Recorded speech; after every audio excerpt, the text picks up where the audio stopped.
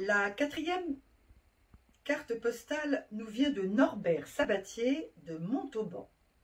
Carte postale du XXe siècle destinée à être illustrée. Elle est adressée à monsieur Vernon Sullivan, à Ville d'Avray, pour de vrai, navré, et à l'illustre génie que l'on reconnaîtra.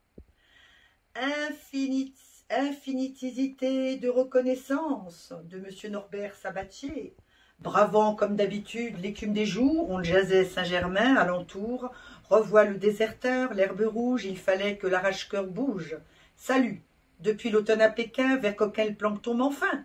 Inédit, pataphysico, acre, allez fourmis, au cinéma sacre, n'irait jamais cracher sur sa tombe. Signé Arthur, inventeur de la bombe, ou encore en avant la zizique, acrostiche, aussi syllabique. Bravo. Avec un petit dessin du Zazou et les fantaisistes.